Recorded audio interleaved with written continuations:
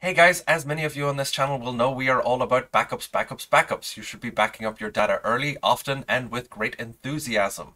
But what do you do if you've got a hard drive that's failing, that's got data on it, that you haven't backed up? Well, in this multi-part series, we're going to take a look at a real-life example that's happened to me recently, and some of the tools and tricks that you can use to try and preserve some of the existing data, and maybe recover some of the data that's already been lost. So in this, the first part of the series, we're going to do the troubleshooting section. We're going to take a look at identifying the problem and then seeing what steps we would then uh, take from there by extrapolating out what the problem might be. First, a very quick disclaimer. This is not professional advice and you should not try this at home on data that you care about. If you've got data that you care about on a drive that is failing or has failed, you should bring it to a data recovery service and pay them money to recover it for you. I know that it's expensive, but the reason it's expensive is if you do this wrong, you might cause even further damage to the data, preventing any chance of recovery in the future whatsoever. So, with that disclaimer out of the way, so my friend came to me and said, Steve, I've got this external hard drive. It was sitting on my desk and whilst I was using it, it fell off the desk. And now when I plug it into my computer or laptop, I'm not able to access any of my files and folders. This story gives us several key pieces of troubleshooting information. The first is that the root cause is probably the physical damage the drive sustained whenever it hit the ground. That limits our troubleshooting options quite a bit. The second is that the drive was in an external enclosure whenever it hit the ground.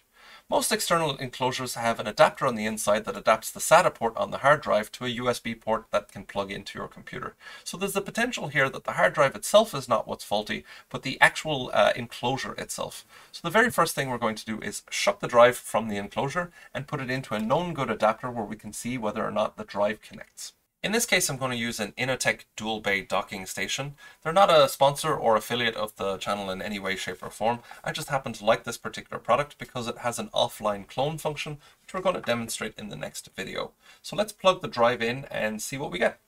As soon as I plug in the drive, I get a lot more information about what the problem could be. So I can hear the drive spinning up, which is good news because I know that the drive is receiving power and it's attempting to spin. And the second piece of information I've got there is it seems to be spinning normally. I don't hear any sort of clicking, clacking, or unusual noises coming from the drive, which is always a good sign, especially when we're dealing with uh, physical damage. The second portion is Windows prompts me to format the disk. So this is problematic because it means Windows is not recognizing the hard drive. Now it's going to ask me to format the disk and put on a disk format that it recognizes, but if I do that I'm going to lose all of my existing information. So I'm just going to go ahead here and hit cancel. My preferred next step here is to open up the disk management tool. So you can find that tool by hitting the Windows taskbar and then searching for disk management. You'll get an option for create and format hard disk partitions, which is the one that we want. We'll open that up here. So there's some good news here and some bad news. The good news is that Windows recognizes the problematic disk, it's disk 3, and it's tried to assign it a drive letter, drive letter E. We knew that because of the initial prompt we got when we plugged it in, asking us to format drive E, which we declined. But it's always good when Windows recognizes your disk. It would be much more problematic for us if Windows didn't recognize it as a hard drive. The bad news is it recognizes an awful lot of unallocated space here, which is very unusual for an external drive. We wouldn't expect any of it to be unallocated. Usually the whole disk is being used. And the partition that it does recognize, the 430 gigabytes, it does see as healthy, the logical drive, it's showing up as raw fo format. So what is a raw format as opposed to NTFS or FAT32, any of those recognizable formats? Well, raw is not actually a format in and of itself. It's really just what Windows labels something when it cannot recognize the format that the drive is in. So what it's trying to tell us here is it doesn't understand what format the drive is in. That's not really great news. It means probably the partition table that contains all of the information, but the files, folders, and the structure of the drive on the drive itself has become damaged or corrupt, and we'll have to take a look at trying to recover that.